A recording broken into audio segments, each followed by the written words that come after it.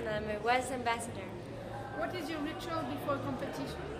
Uh, I don't have a special ritual, but I listen to music, so I select my music uh, the night before, the day before, and uh, just listening to the, the good sound. Which is your favorite city in the world and why? Uh, Lausanne. Why? Because I was born here, and uh, it's a beautiful city, beautiful region and area. Are you sweet or savory? And sour. and um, be wise, work in sport.